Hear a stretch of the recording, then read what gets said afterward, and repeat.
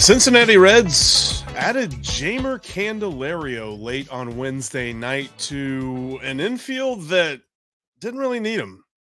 I feel like something else has to be coming after this. And there's a lot we got to talk through about this move on this bonus edition of Locked On Reds.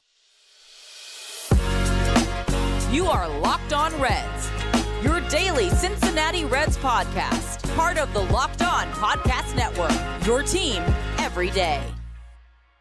You are Locked On Reds, and my name is Jeff Carr, and this is a bonus edition of the Locked On Reds podcast, late night bonus edition, coming to you live as we are reacting to Jeimer Candelario being a Cincinnati Red.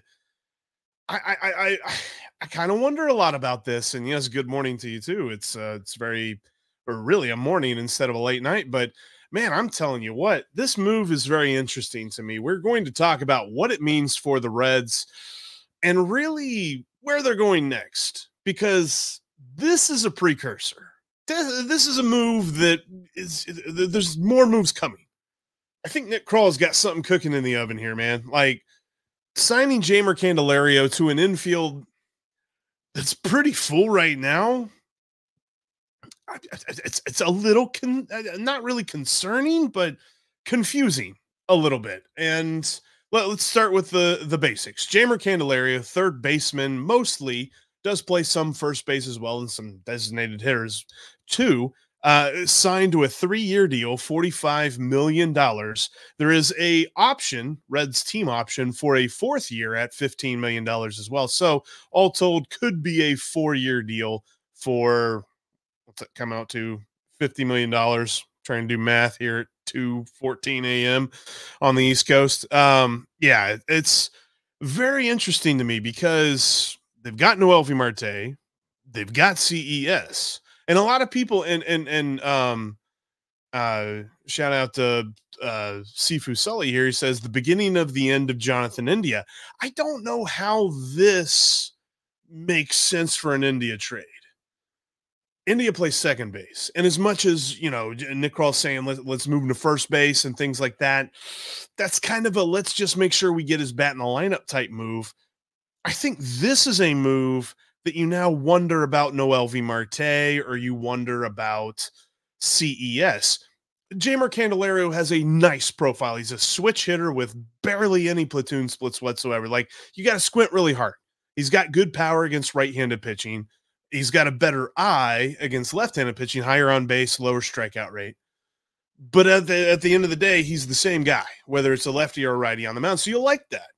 It's an interesting move too, because that's not really a guy that David Bell has to worry about putting in and taking out of the lineup. It's it's kind of interesting here.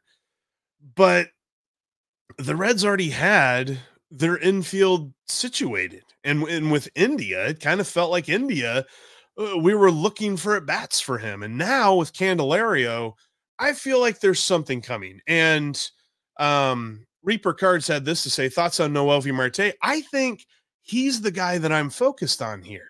I'm not focused on India. I'm not focused on on you know Elly or Matt McLain. A little bit on CES. But I think that this is something I'm focused on, Noelvi Marte. What does that hamstring injury look like? He was at Reds Fest and he was he was participating in, in all of the the pictures and the signings and things like that. And, and there was no really concern there. I don't think he's going to continue to play in the winter leagues or anything like that, but I, I, I kind of wonder if he's not part of a deal now you know, there's been a lot of reports, and we actually have a, a full episode coming up. Uh, Steve and I will be talking about a couple hours here. It's going to be premiering. Uh, we're going to be talking about a Dylan Cease trade proposal that we both like and didn't really involve any of these guys. So it makes me wonder if those talks evolved a little bit for Nick Krall. It's so funny. We said that the Reds would be super busy these winter meetings. The winter meetings have come and gone. And as everybody's like flying out of Nashville, that's when the Reds make a move. That's when all the big moves happen. Juan Soto traded to the Yankees. Craig Kimbrel signs with the Orioles, and um, there's one other move. I'm I'm I'm blanking. Oh, Not really a big move, but it's a move in our realm. Nick Senzel, he's headed to the Nationals. A lot of interesting things here, but I kind of wonder what's next. Like I I I think that Jeimer fits in in a very nice way if you make a move. We'll talk about what that move might look like coming up next. Before we talk about that, I want to tell you about today's sponsor, and that's FanDuel. FanDuel is your number one source to make some money off of your sports knowledge. Uh, well, we, we, talked about some futures. I know that the Reds are going to be moving, man. They, they are so busy this offseason. If you look on FanDuel, their futures right now for the national to win the National League and to win the the World Series, those odds got to be getting shorter and shorter by the day. I know just last week they were 45 to 1 to win the World Series, and I believe they were 20 to 1 to win the National League. Got to believe those are getting shorter because people are taking notice that Nick Krall is making moves. Check those out today. Go to fanduel.com slash locked on and get in on the action. They've got a great introductory offer for your first winning money line bet of $5. You'll get $150 in bonus bets added on. So you get more money for winning. You gotta love that. It's fanduel.com slash locked on. They've got all kinds of great stuff. I mentioned the futures. You can jump in on the NFL action. Jake Browning just setting the world on fire on Monday Night Football. Is he gonna do it again on Sunday against the Colts? Who knows? Might be an interesting bet. And the prop bets on him could be very interesting as well. Because I'm I know his first game, the over-under was 205 on the passing yards. Gotta believe that's coming up after he uh, threw for over three 340 last uh, last week. But Check him out at fanduel.com slash locked on. Again, new users win their first $5 money line bet, and you're going to get $150 in bonus bets added on. FanDuel is an official partner of the NFL and the official sports book of Locked On. Thanks as always for making Locked On Reds your first, your second, your your late night listen, early morning listen, depending on where you're hailing from. Uh, glad to have you on board as we try to dissect, try to understand this signing here on the screen. But um Jeimer adds an interesting conundrum because we already thought this infield was full, maybe a little over full. And I, there's a lot of folks that are saying this. What Danny is saying, he's saying buy India. I've seen a lot of a lot of people saying that India's getting traded now. And I just don't see that happening. This is a more direct impact on Noelvi Marte or CES. Because in my estimation, and I think in a lot of estimations, a lot, a lot of Reds fans' estimations, Noelvi Marte was going to be the opening day third baseman. I thought it. I mean, I thought he hit really well in that final month of the season. Now, there's been a lot of people saying, and, and there's there's really good uh, it's a really good advice whenever you're looking at players.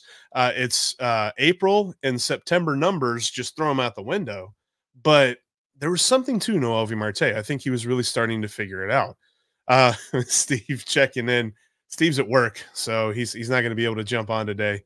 But uh, I have so many things to say, but alas, I could make it to record. I'll chime in on this later on Thursday. Yeah, we've definitely got a lot, and, and, and I think there's going to be more from this. We talked about or we will talk about a Dylan Cease trade coming up on the next Locked On Reds podcast, the next full episode that we've got for you. Um, because it, it sounds like the Reds are in on Dylan Cease now. And in as in there is a concrete trade proposal that came from verified sources, not like me and Steve trying to to propose some weird trade or some blog out there that's saying this could happen. There were concrete trade pros and and we'll talk a little bit more about this, but there was one that had Rhett Lowder, Chase Petty, had um, Edwin Arroyo, and I believe uh, Connor Phillips was also in this trade, which is quite a lot. So maybe they supplement that and they say, all right, let's not trade all the farm. Let's maybe trade Noelvi Marte and a and, and maybe one other prospect and then a mid-level guy or something like that. I don't know. I'm not necessarily sure how that would work out, but Nick Krall's not adding Jeimer Candelario, and and and, and the Reds are all of a sudden going to carry seven infielders, right? Maybe I don't know. Like, and that's not even counting catchers. I mean, you've got Tyler Stephenson and Luke Maile. That's a given. You've got Elly De La Cruz, Matt McLain, given. all right, let's now Jeimer Candelario is a given. You're not going to sign him three years, 45 million. That's already five guys. So now you're looking at uh, Marte, CES, Jonathan India. That's eight infielders, counting the catchers. Maybe you only carry five outfielders, but we've talked about the weakness of this outfield being the fact that if there's a lefty pitcher on the mound, that means that Benson or Fraley's got to play against him. And they've not been good against those two, uh, against lefties. So when it comes to this Jeimer Candelario move, I, I just DH, yeah, but I mean, India's got to be DH. Spencer Steer's got to be DH. CES has got to be DH. Like the designated hitter role for the Reds needs to be a rotation. And I think at the end of the day, this is a harbinger. If anything, it's a good sign for those of us that have wanted the Reds to make a trade. I think this means that the Reds are in on a trade. And Jack, you might be right because it's 215 in the it's well 224 now in the morning i might be overthinking this but i don't know man like eight infielders and five outfielders because you carry 13 position players and 13 pitchers maybe i don't know but i think we will get an answer on this soon i think that the signing of Jeimer Candelario doesn't mean that we now sit for a week or two and wait for a move. I think that Nick Krall's got something that is really close to being a thing. And and and Chris, I thought about this. I thought about this, but this doesn't make any sense to me. Noelvi Marte starting in AAA doesn't make any sense to me because he was good at the end of last year. Eh, they, they've got to go get themselves an ace pitcher. And I think by signing Candelario, you make some guys expensive or e- e- expensive. You make some guys expendable. All right, that that might be my sign. I appreciate everybody for jumping on here. I, I had to talk some things through. Wanted to see what you guys are thinking. Um, see a lot of folks still thinking that you know eh, eh, India's getting traded this was an interesting thing to me because there were reports that the Reds were finalists for Eduardo Rodriguez, and then those reports turned it out to be uh, the sources turned it out uh, to be false, and so he ended up landing with the Arizona Diamondbacks. Um, that's one 75% chance that India isn't a red by the end of the day tomorrow. I just don't see that. I know that there's a lot of folks that probably think the the recent comments from Nick Krall saying that they're not trained they're not trying to trade Jonathan India right now is a misdirection, maybe trying to run up the price. I just don't see that happening. I don't think they like the deals in place that they've they've heard for Jonathan India, and they're not going to trade him. Not going to trade him. This one's an interesting to me. If, if the Reds are extending somebody, I I saw Marte. He is not a uh, Scott Boras client. Don't trade Marte, extend him. Big McFlips. That's a that's a fun username. Um, but I think that I I'm not sure that I'm ready to extend Marte just yet, but that'd be an interesting thing. Overall, though, Jeimer Candelario, three year deal, $45 million. There's a fourth year option for the Reds. It's a team option uh, for another $15 million. Probably makes him a little bit more uh, palatable in a trade in a year or two. But overall, I mean, the Reds just got deeper. You can definitely say that. Jeimer Candelario is a talented player. It's just feels like they already had a lot of talent on the infield. And we we've been talking about if you're getting a bat, you were probably getting a right-handed outfield bat. Jeimer Candelario has never played the outfield. And it, it, for anybody wondering, could they be moving Candelario to the outfield? It's never happened in his career. It's far too late.